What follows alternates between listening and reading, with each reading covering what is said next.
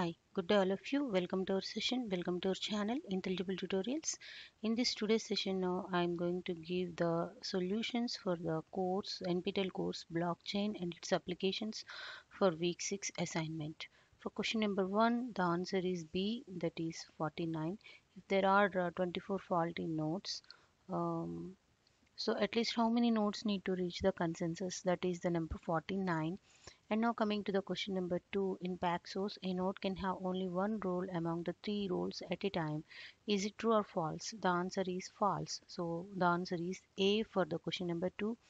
And coming to the question number three, can we reach a consensus where there is a one commander, one good lieutenant, and one faulty lieutenant in Byzantine general problem? Yes or no? The answer for this is B. So all these uh, answers are solved according to my knowledge. Please forgive me if at all any mistakes are there. Now coming to the question number 4, the answer is B that is 73.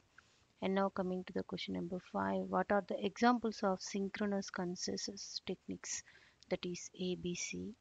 And uh, question number 6, the answer is B that is yes with the remaining nodes.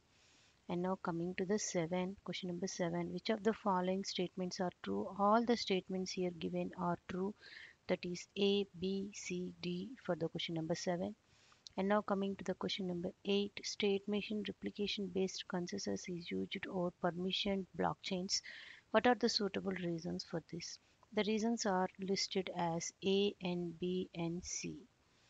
And now coming to the question number 9, which are the properties of an asynchronous consensus.